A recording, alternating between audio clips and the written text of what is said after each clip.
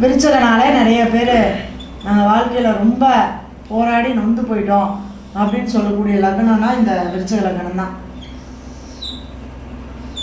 ஏன்னா அது காலச்சக்கரத்துக்கு எட்டாவது லக்கணமாக இருக்கிறதுனால இந்த ராசிக்காரங்களும் அப்படி தான் சொல்லுவாங்க. விருச்சக ராசி விருச்சக லக்னக்காரங்களை நாங்கள்லாம் வாழ்க்கையில் வந்து ரொம்ப கஷ்டப்பட்டுட்டோம். நீ இதுக்கு மேலே எதுவுமே படுறதுக்கு இல்லை அப்படின்னு சொல்லக்கூடியவங்கள தான் இருப்பாங்க. ஏன்னா இந்த லக்கணத்தில் செவ்வாய் ஆட்சி ராகு கேது ராகு உச்சம். இந்த ராகுவை நம்ம எடுத்துக்கலாம்ல. அடுத்தது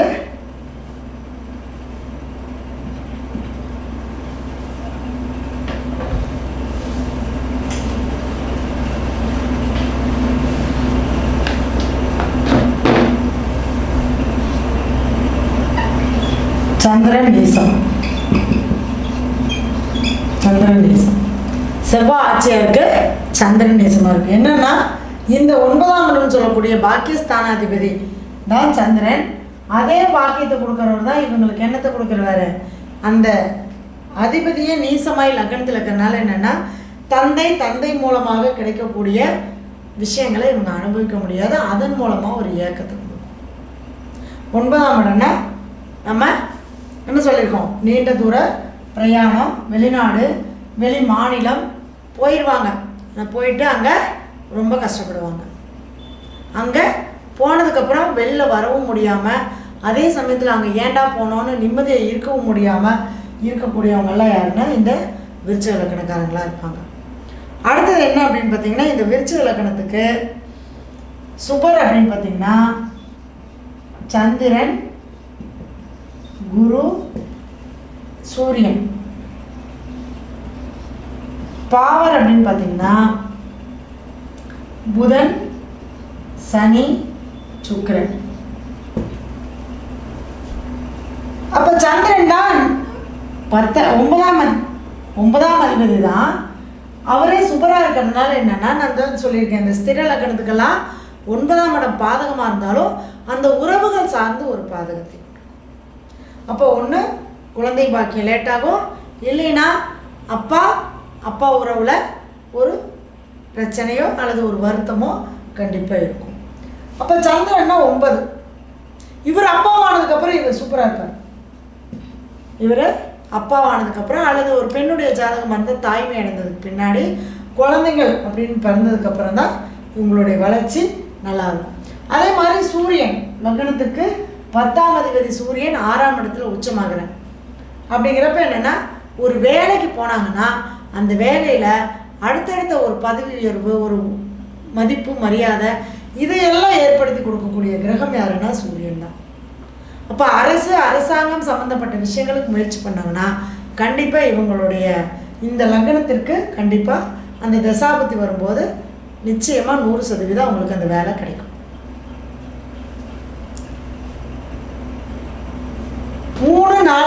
சனி பகவான் பாவகிரகமாக போயிட்டார். மூணுக்கும் நாலுக்கோ உடையவர் அடுத்தது ஏழு பன்னெண்டு.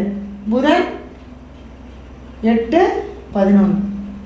இவங்க இந்த லக்னத்துக்கு என்ன ப்ராப்ளம் வரும் அப்படின்னு கேட்டிங்கன்னா ஏழாம் இடம். ஏழாம் இடம் சொல்லக்கூடிய வாழ்க்கை துணை.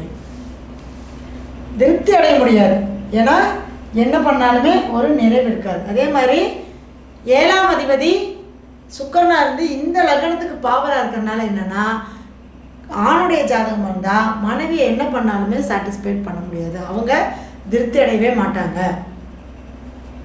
அதே மாதிரி அங்கேயும் ஒரு ஒரு போராட்டம் இருக்கும். திருமணம் திருமணம் சார்ந்த ஆசைப்பட்ட ஒரு வாழ்க்கையை அமைச்சுக்க முடியாத ஒரு போராட்டத்தை கொடுக்கும். அதே மாதிரி பெண்களால் தான் இவங்களுக்கு பிரச்சனையே வரும். ரொம்ப கேர்ஃபுல்லாக இருக்கணும். பெண்களால் பிரச்சனை வரும். அதே மாதிரி இந்த பெரிய அளவுக்கு முதலீடுகள் பண்ணுறது இந்த இன்வ அதாவது இந்த ஷேர் மார்க்கெட்டு இது மாதிரியான விஷயங்களில் இன்வெஸ்ட் பண்ணி ஏமாந்து போகிறதெல்லாம் இவங்க தான் ஏன்னா புதன் வந்து தகவல் தொடர்பு. அவரே எட்டுக்கும் பதினொன்றுக்கும் உடையவராகி போய் பாவராக இருக்கனால எல்லாம் சொல்லுவாங்க பதினொன்றாம் அதிபதி சூப்பர் அதனால் நீ வந்து செய்யலாம் அப்படின்னு. ஆனால் இந்த லக்னக்காரங்க ஷேர் மார்க்கெட்டோ அல்லது ஏதாவது இன்வெஸ்ட் பண்ணும்போது அவங்களுக்கு அது பாதிப்பு கொடுக்கும். அதே சமயம் சுக்கரன்.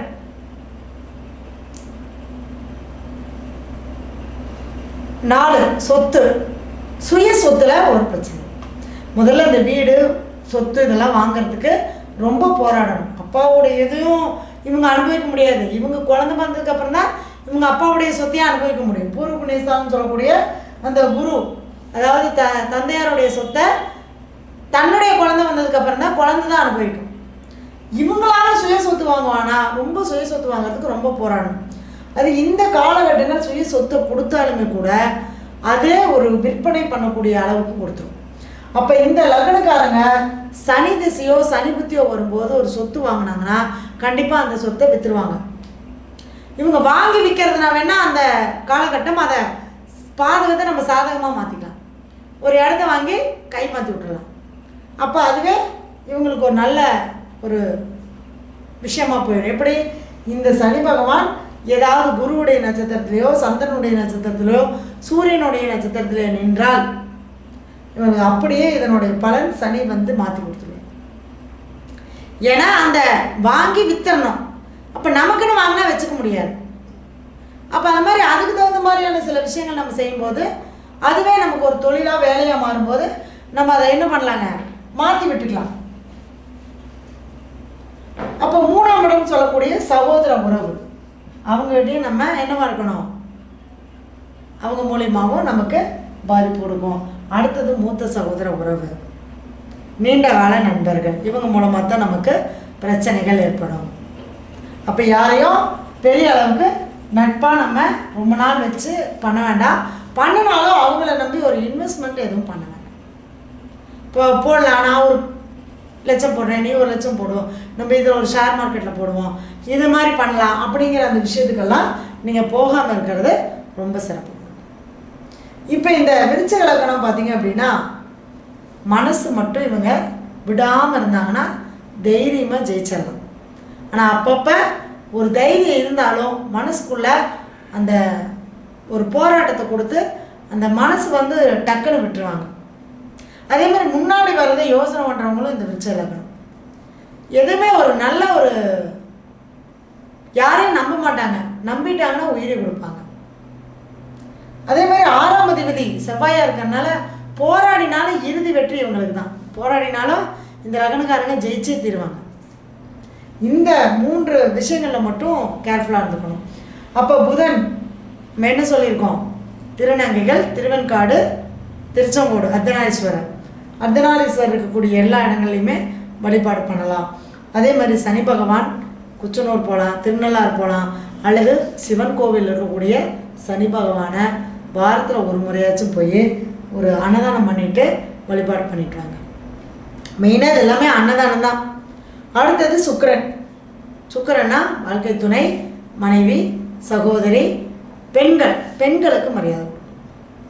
அதே மாதிரி பெண்கள் சார்ந்து அவங்களுக்கு செய்ய வேண்டிய காரியங்களை கரெக்டாக நம்ம செஞ்சு கொடுக்கணும்.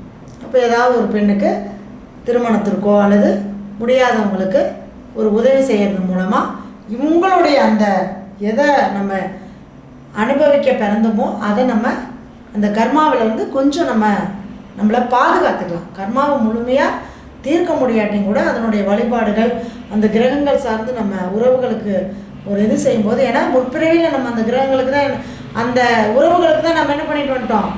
துரோகம் பண்ணிட்டு வந்துட்டோம். அதனால் அது சார்ந்து நமக்கு ஒரு பாதிப்புகளை கொடுக்குது. இப்போ நமக்கு தெளிவாக தெரிஞ்சிருப்போம். இப்போ நம்ம அந்த திசாபுத்தி வரும்போது அல்லது அந்த உறவுகள் சார்ந்து நம்ம என்ன பண்ணுவோம்? அவங்களுக்கு நம்ம நல்லதே செஞ்சுட்டு வரணும். என்னதான் அவங்க நமக்கு இப்போ இளைய சகோதர உறவா மூணாம் அவங்க நமக்கு பாதிக்கப்பட்டிருக்கா? இளைய சகோதர உறவுக்கு நம்ம சப்போர்ட் பண்ணிகிட்டே இருக்கணும். அவங்களுக்கு என்ன சப்போர்ட் பண்ணாலும் அவங்களுக்கு திருப்தி இல்லைனாலும் கூட நம்ம என்ன பண்ணணும்? பண்ணிகிட்டே வந்தோம்னா தான் நம்மளுடைய அந்த கர்மாவானது நமக்கு குறையும். அடுத்தது தனுசு. தனுசு லக்கணம். தனுசு லக்கணம் உபய லக்கணம் தான் இந்த தனுசு லக்கணம் பார்த்தீங்க அப்படின்னா ஏழாம் இடம் தான் பாருங்க எல்லாத்துக்குமே இந்த உபய